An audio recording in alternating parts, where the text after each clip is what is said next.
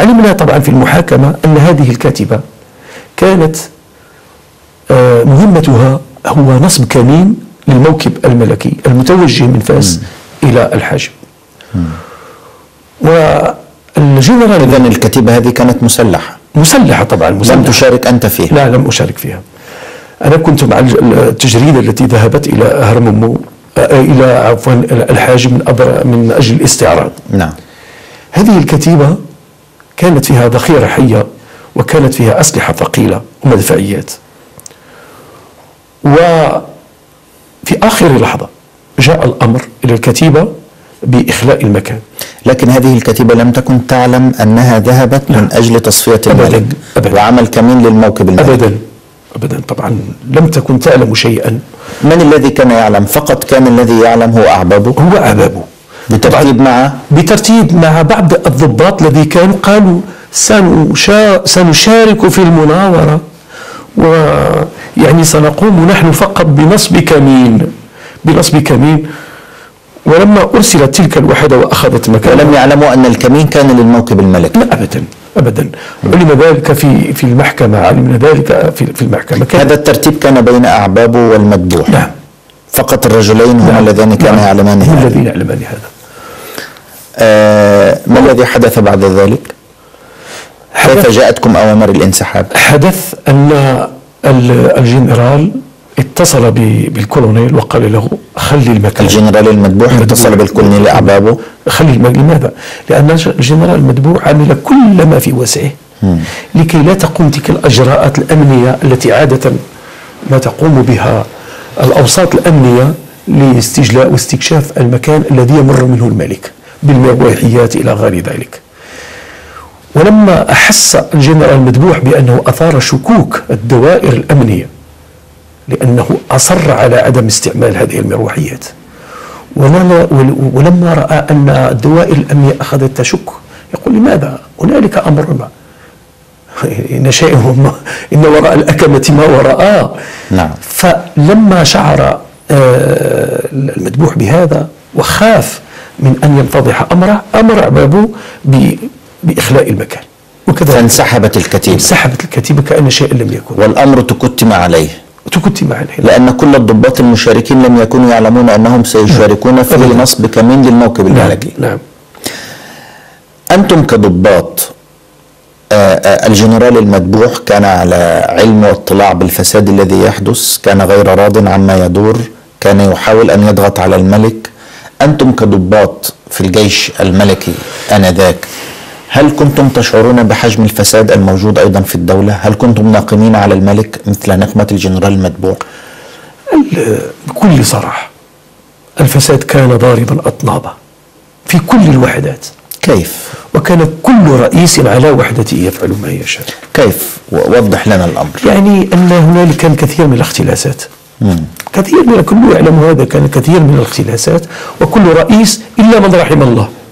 طبعا لا أعمم هنالك ال- العديد من الضباط النزيهين الذين بقوا آه، على يعني نظيفين. ولكن عموما فكل رئيس وحدة كان يفعل ما يشاء في وحدته. وبدليل أنه في ب... يعني ال- ال- الكبار لأنهم كانوا ينهبون فكانوا يتركون الصغار يفعلون ما يشاءون حتى يصبح الكل متورطا في الفساد ولا ينظر أحد إلى الآخر على أنه فاسد أو يتهمه بذلك. وأعتقد أن الكل يعلم والكل يتعامى. نحن في في مدرسة هرمومو كنا نعرف طبعا كضباط نعرف مثلا بحكم علاقتنا مع الضباط آخرين ماذا ما يقع في الوحدة الفلانية والوحدة الفلانية. وطبعا أعيد وأكرر ألح على أن لا أعمم هنالك من الضباط السامون من بقي يعني نظيفا. مثل من تذكر من الأسماء التي؟ أقول مثلا ضابطا يقفز في ذهني كل مرة وأنا معجب به كثيرا. ونور معه في وجدة على الحدود الجزائرية المغربية هو الكولونيل حسن بن طاهر. حسن بن طاهر هذا كان وهو طبعا ينحدر من الريف كان في منتهى النظافة. كان رجلا بسيطا جدا ويعاف البذخ ويعني يعيش عسكريا يعني برتبته. أعبابه حينما كانت يده مطلقة ويفعل ما يشاء هل كان ذلك بدعم من المذبوح بلدياته رفيقه أم من إدريس بن عمر رئيس الأركان؟ يعني لا أستطيع لا أستطيع من موقعي كضابط صغير أن أقول بأن المذبوح كان يعلم ما يفعل عبابه ويتغاضى عن ذلك. الله العلم لله. كل ما أعلم هو أن الجنرال ال- بن- عمر كانت له علاقة وطيدة مع ال- الكولونيل المذبوح مع الكولونيل عبابه وأنه بعد تغيير الماجور العام للقوات المسلحة إدريس بن عمر حين عين وزيرا للبريد وحل محله الجنرال. البهلي تغيرت الأحوال لأن العلاقة بين الرجلين لم تكن على ما ما يرام. بين البوهالي وبين مع عبابه مع بابه نعم بعد المحاولة الانقلابية التي آه، ألغيت في اللحظة الأخيرة في 14 مايو 71 حينما رجعتم إلى المدرسة بعد هذه المناورات بالنسبة لكم هل تغير أي شيء في التدريبات؟ هل دار بينكم همهمات أو حديث أو نقاش عن إلغاء المناورة إلغاء الكمين إلغاء هذه الأشياء؟ أبدا. على أبدا. لم نشعر بأي شيء. الشيء الذي وضعنا في ورطة وهو أننا كنا قد أنهينا جميع التمارين. المقررات الدراسية كنا قد أنهيناها. وبقينا في فراغ ننتظر حلول ال- ال- العطلة الصيفية. التي كانت عادة ما تكون في يوليو وأغسطس. نعم. بقينا ولكن لنظر لإشغالنا في شيء ما. ف آه، كانت هنالك حفلة ستقام في الرباط وهي حفلة الجيش ليلة تسمى ليلة الجيش. كانت تقام فيها حفلات آه، بمحضر الملك وبمحضر الشخصيات. غنى ورقص يعني. يعني تمارين رياضية. نحن آه، مثلا آه. عهد إلينا بتشكيل هرم هرم بشري في سرعة مفرطة. تأتي وحدها وتشكل يعني كل واحدة تبرز لياقتها نعم العسكرية طبعا فانشغلنا بهذا إلى أن أتى اليوم الموعود. ما هي الخطوات التي سبقت تحرككم إلى قصر الصخيرات في 10 يوليو آه، تموز 1971 وهو الذي كان يوافق عيد جلوس الملك؟ عيد ميلاد الملك. نعم من الأشياء التي طرأت في المدرسة وهو مجيء قافلة من الشاحنات. جاءت من وحدة توجد في عين حرودة قرب الدار البيضاء تتواجد فيها وحدة آه، المعدات العسكرية والشاحنات إلى غير ذلك. جاءت قافلة من الشاحنات آه، صافيام الفرنسية السرعة متى تقريبا؟ آه، يعني بيومين قبل الانقلاب. نقول 8 يوليو؟ نعم. جاءت و تمركزت في المدرسة.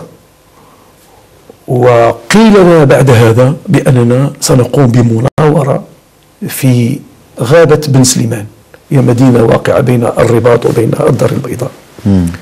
وسار الخبر أولا هناك مهمات آه، تسرب الخبر. ولكن آه، ليلة يعني اليوم الذي سبق الانقلاب. على هذه القافلة التي جاءت كان معها جنود ولا فقط آه، لا فقط. عليها. مرشح فيها طبعا آه، سائق آه، آه، سائق السيارات فقط. سائق السيارات سائق فقط. السيارات. كانت محملة بذخيرة بسلاح لا لا لا بلا شيء. جاءت لتحملنا إلى طبعا نعم نعم نعم. مم. فبعد ذلك جاءت الإدارة إدارة المدرسة وأخبرتنا بأننا سنناور في غابة بن سليمان. وكما سبق من الذي أبلغكم أعبابه أم أحد لا لا مدير مدير الدراسات. آه. مدير الدراسات. آه، أبلغكم هذا يوم 9 يوليو؟ نعم. في الص... تشكلت الكوماندوات. وهنا أركز على نقطة مهمة. سيكون لها ما بعدها. وهي النقطة أن الكوماندو كان خليطا من التلامذة تلامذة الصف آه، السنة الأولى والثانية والثالثة. هذا عسكريا ليس صحيحا؟ لا ليس صحيحا ولكن أقول لأنه له ما بعده؟ لأن كل لأن كل ضابط لم يكن يعرف- يحكم لا يحكم التلاميذ يكون يعرف كل التلاميذ. والتلاميذ لم يكونوا يعرفوا الضابط.